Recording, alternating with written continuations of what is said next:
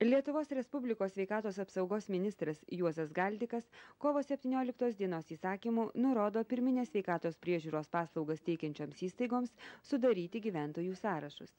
Tad tiek suaugę miesto gyventojai tiek vaikai turi kreiptis į gydymo įstaigą kurioje žada gydytis ateityje.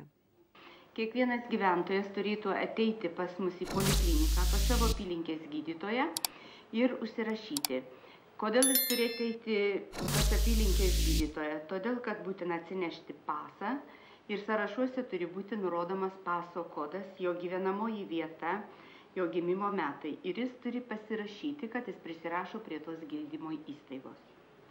O jeigu neateis alytiškis kaip tada jam bus jeigu alytiškis neateis tai teritorinė ligonių kasa neišduos jam draudimo pažymėjimo ir jis negalės kreiptis į mūsų gydymo įstaigą.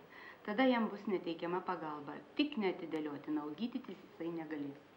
Būtų labai gerai kad gyventojai ateitų ir užsirašytų iki balandžio dvidešimtos dienos todėl kad teritorinei ligonių kasai mes turim pateikti patvirtintus sąrašus gegužės penkioliktai dienai. Terminas labai trumpas labai prašom gyventojų atvykti ir užsirašyti. Alytiškiams priminsime kad galime atsinešti pasus ir įrašyti šeimos narius o pas nevaikščiojančius ligonius medfelčerės atvyks į namus. Suskubkime įsirašyti į sveikatos priežiūros sąrašus kad vėliau neturėtume bereikalingų nemalonumų